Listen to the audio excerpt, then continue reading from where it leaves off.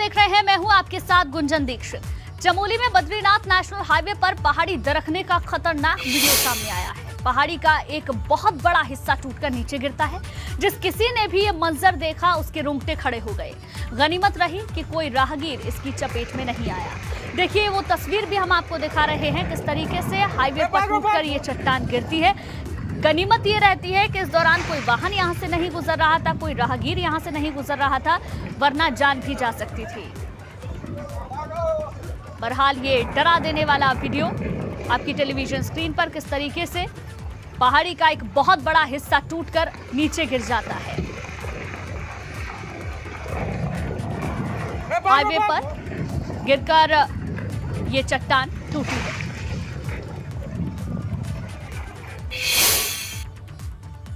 चलिए आगे बढ़ते हैं। सीएम पुष्कर सिंह धामी ने चंपावत में चुनावी अभियान को धार देनी शुरू कर दी है। इसी कड़ी में सीएम पुष्कर सिंह धामी ने रोड शो किया। मुख्यमंत्री धामी चंपावत सीट से उपचुनाव लड़ने जा रहे हैं।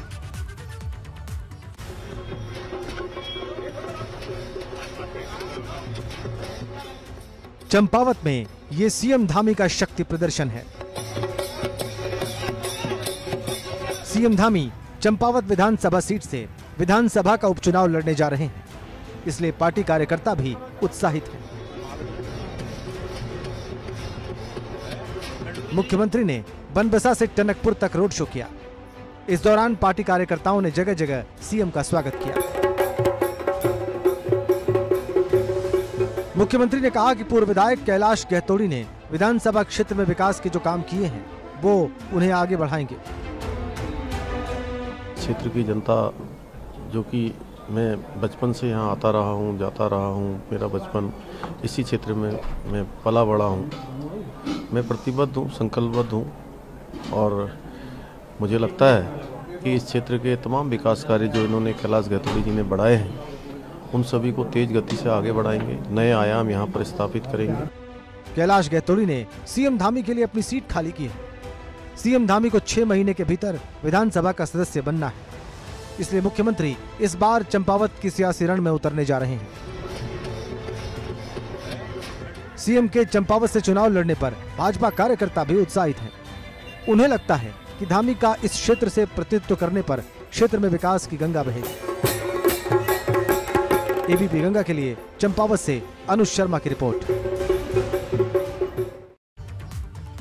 आगे बढ़ते हैं। तीन मई से चारधाम यात्रा की शुरुआत होने जा रही है। कोरोना के खौफ के बीच चारधाम यात्रा शुरू हो रही है। मगर यात्रा के दौरान कोविड की एसओपी को लेकर सरकार के मंत्री ही कंफ्यूज हैं। सरकार से कोरोना के मामले बढ़ रहे हैं।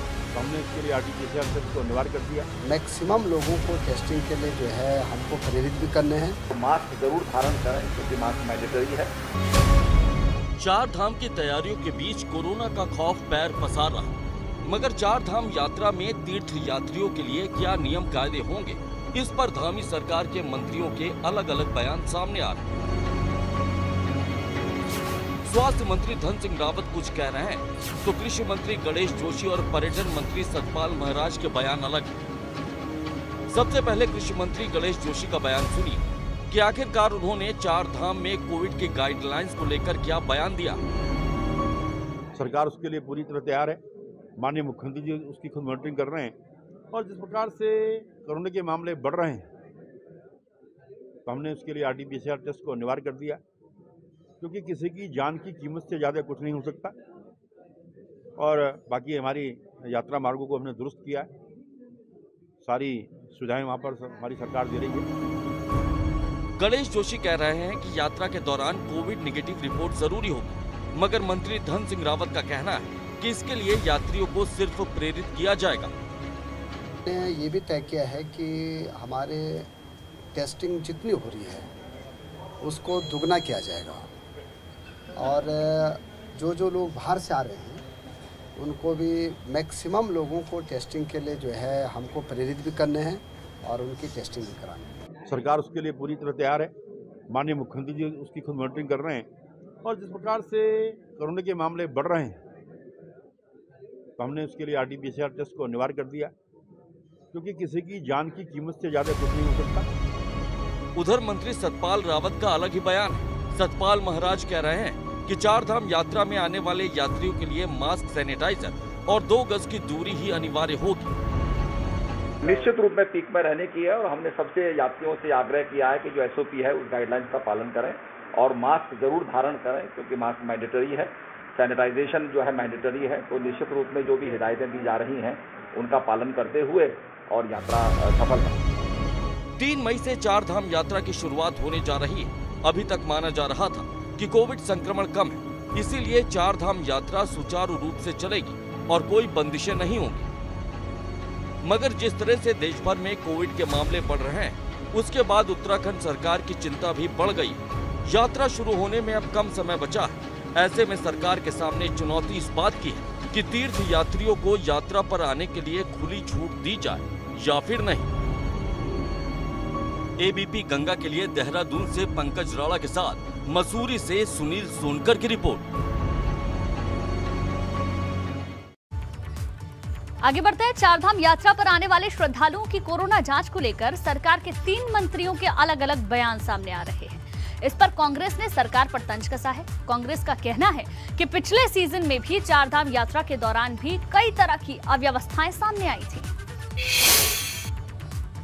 आज आप देख रहे हैं कि सरकार में होड़ मची हुई है तो कौन व्यक्ति कितने बयान जारी करते हैं? जो स्वास्थ्य मंत्री का विषय है, वो दूसरे विषय में बयान दे रहे हैं। जिनका स्वास्थ्य मतलब नहीं है, वो स्वास्थ्य पर बयान दे रहे हैं। तो मेरा अनुरोध है कि अगर ये चौथी लहर आ रही है और यात्रा प्रारंभ होने वाली है, सारे हमारी व्यापारी वर्ग, धार्मिक संस्थाएँ, परिवहन वाले, सारे लोग परेशान रहे, उनकी किस्त भी नहीं उतारी गई हैं। अगर इस बार कोई ऐसी अव्यवस्था हुई जिसके कारण यात्रा प्रभावित हुई या कोरोना में लोगों को रोकने का प्रयास किया गया तो मैं इतना कहना चाहता हूँ कि इस सरकार के लिए दूरगामी परिणाम होंगे कोविड का खौफ पैर पसार रहा है। इस बीच चारधाम यात्रा की तैयारियाँ भी तेज़ी से चल रही हैं। सीएम पुष्कर सिंह धामी का कहना है कि सरकार की तरफ़ से कोरोना से बचाव के लिए पुख्ता इंतज़ाम किए गए हैं। पूरी व्यवस्थाएँ कर दी हैं। सारी व्यवस्थाएँ हमारी यहाँ पर पूरी हैं। और हमारे बच्चों के, चाहे आईसीयू बेड हों, चाहे बड़ों के हों, चाहे हमारे सरकारी अस्पताल हों, अभी दोबारा से हम उसको सब रिव्यू कर रहे हैं। सरकारी अस्पतालों में इस्टेब्लिशमेंट काफ़ी कुछ पिछले दो सालों में हुआ है हमारे देश के प्रधानमंत्री जी के नेतृत्व में, जब से कोरोना महामारी आई है। हर जगह पर, हर अस्पतालों में यहाँ पर ऑक्सीजन के पहले कंसनट्रेटर नहीं होते थे, ऑक्सीजन के सिलेंडर कम होते थे, ऑक्सीजन प्लांट नहीं होते थे। आज सभी जगह पर ऑक्सीजन के प्लांट हैं। और इसी बीच एक बड़ी खबर आपको बता दें, हरिद्वार में घर से बाहर निकलने पर अब मास्क लगाना ज़रूरी हो गया है। कोविड के बढ़ते संक्रमण को लेकर डीएम ने आदेश दिए हैं, बगैर मास्क घूमने वालों पर पाँच सौ का जुर्माना लगेगा। उत्तराखंड में आज कोरोना के तेरह नए मामले सामने आए हैं।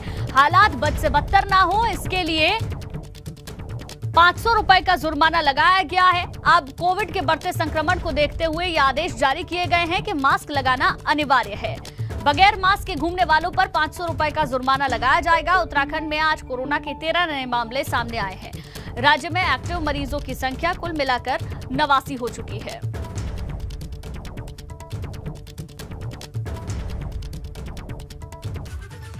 चारधाम यात्रा की तैयारियों को लेकर राज्यपाल गुरमीत सिंह ने अधिकारियों के साथ बैठक की। राज्यपाल ने राजभवन में अधिकारियों के साथ चारधाम यात्रा की तैयारी पर चर्चा की। बैठक के दौरान राज्यपाल ने कहा कि चारधाम यात्रा उत्तराखंड की सामाजिक, सांस्कृतिक व्यवस्था की पहचान है। इसलिए श्रद्धालुओं की सुविधा और सुरक्षा का ध्यान देना ज़रूरी है।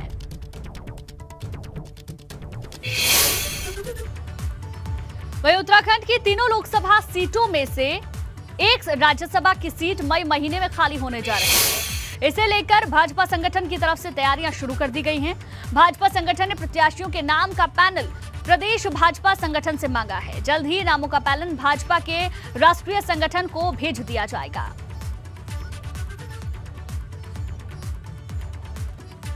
पहला विषय है कि उत्तराखंड राज्य में एक राज्यसभा की सीट के लिए केंद्रीय नेतृत्व ने बातचीत हुई है तो हमें जल्दी ही पैनल भेजना है। तो हम आज भी बैठे हैं। कल भी बैठेंगे और परसों बैठकर सभी लोगों के साथ विचार विमर्श करके हम वो पैनल राज्यसभा के लिए केंद्रीय नेतृत्व को भेजेंगे, वहाँ केंद्रीय पार्लियामेंट्री बोर्ड राज्यसभा के लिए जिसको भी कहेंगे, फिर उसके लिए जो प्रक्रिया है नॉमिनेशन इत्यादि चुनाव की वो पूरी करेंगे। आगे बढ़ते हैं, उत्तराखंड में धामी सरकार ने तीन बड़े आईएफएस अधिकारियों के खिलाफ एक्शन लिया है। ये कार्रवाई कार्बेट टाइगर रिज़र्व में अवैध निर्माण समेत कई तरह की गड़बड़ियों के मामले में हुई है।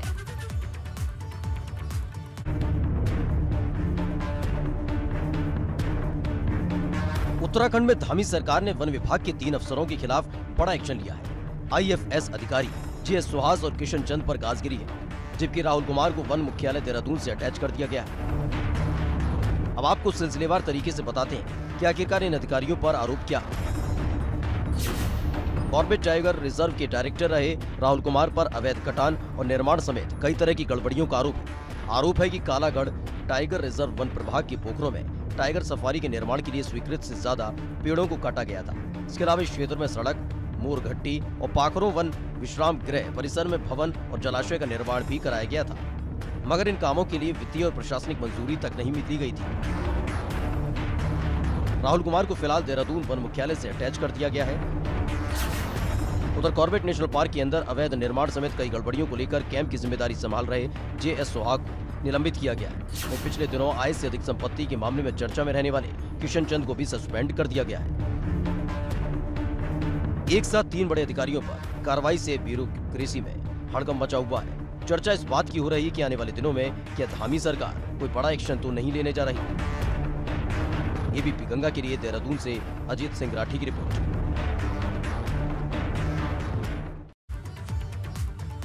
वन विभाग के तीन बड़े अफसरों पर हुई कार्रवाई को लेकर वन मंत्री सुबोध उनियाल ने कहा कि प्रदेश में करप्शन की, किसी भी कीमत पर करप्शन को बर्दाश्त नहीं किया जाएगा।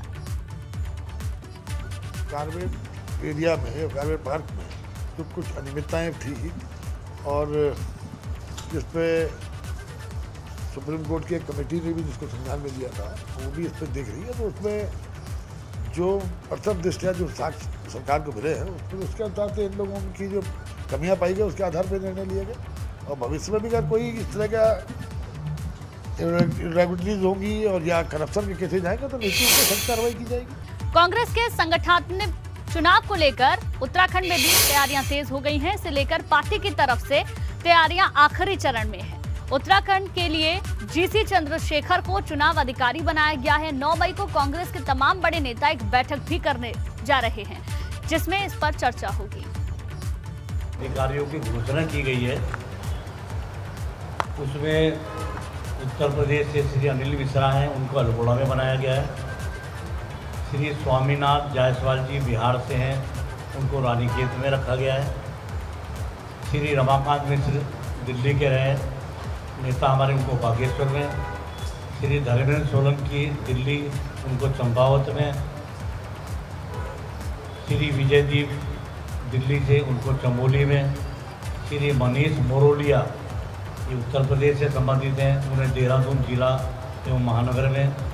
श्री अजय दाते, मध्य प्रदेश से संबंधित हैं। उन्हें ऋषिकेश में।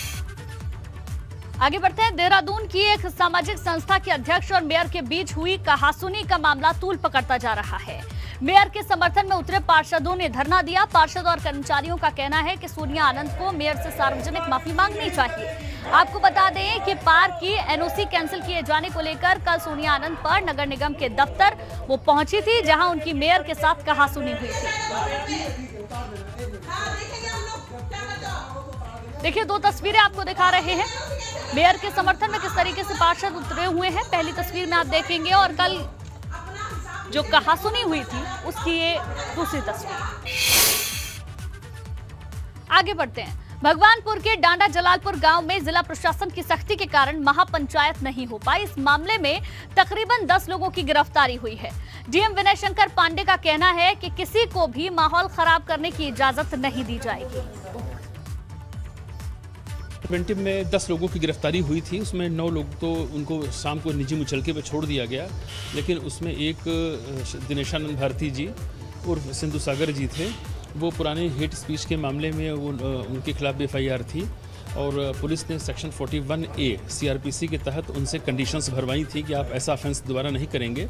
और मेरी जानकारी के मुताबिक पुलिस ने फिर ये सीजीएम के यहाँ से की अदालत से उनके विरुद्ध नॉन अवेलेबल वारंट लिया और उनको अरेस्ट करके फिर मजिस्ट्रेट के सामने प्रोड्यूस किया था, जहाँ उन्हें न्यायिक अभिरक्षा में जेल भेजा चारधाम यात्रा शुरू होने जा रही है। हरिद्वार से होकर चारधाम यात्री गुजरते हैं, इसलिए प्रशासन की तरफ़ से व्यवस्थाएँ दुरुस्त की जा रही है। प्रशासन की तरफ़ से एक तरफ़ बाहरी लोगों का चिन्हीकरण किया जा रहा है तो वहीं सरकारी ज़मीन से अतिक्रमण भी हटाया जा रहा है। डीएम विनय शंकर पांडे के आदेश पर मेला क्षेत्र से अतिक्रमण के खिलाफ अभियान चलाया जा रहा है। पिछले कुछ दिनों से देखा गया था कि कुंभ के उपरांत यहाँ के रोडी बेल वाला क्षेत्र में या हर के पैड़ी के आसपास काफ़ी अवैध लोग ढंग से लोग आ गए थे यहाँ और अपने ठेले और तरह तरह के तंबू कनात लगा के यहाँ रह रहे थे। तो प्रशासन ने यह निर्णय लिया कि नगर निगम, पुलिस और डिस्ट्रिक्ट एडमिनिस्ट्रेशन की एक ज्वाइंट टीम इन सभी को चिन्हित करके इनको हटाने का काम शुरू कर दिया है और आज काफ़ी व्यापक पैमाने पर अतिक्रमण हटाने का अभियान चलाया गया है। टिहरी ज़िले के जंगल भी लगातार जल रहे हैं, मगर वन विभाग आग को काबू करने में नाकाम है। वन विभाग की माने तो ज़िले में अब तक आग की 125 घटनाएँ हो चुकी हैं। जिससे 110 हेक्टेयर जंगल जलकर खाक हो गए हैं। तो वहीं वन विभाग को इससे एक करोड़ पचहत्तर लाख रुपए का नुकसान भी हुआ है। कर्णप्रयाग में प्राइमरी स्कूल के छात्र खौफ के साय में पढ़ाई करने को मजबूर हैं। दरअसल स्कूल के पास सड़क के निर्माण का काम चल रहा है, जिस वजह से स्कूल के ऊपर पत्थर और मलबा गिर रहा है।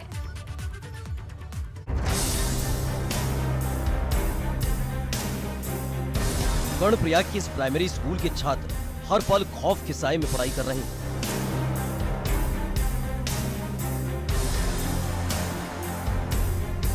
स्कूल के पास ही सड़क का निर्माण कार्य चल रहा है। आशंका इस बात की कि अगर कभी पहाड़ी से मलबा स्कूल के ऊपर गिरा तो बच्चों की जान बचेगी कैसे?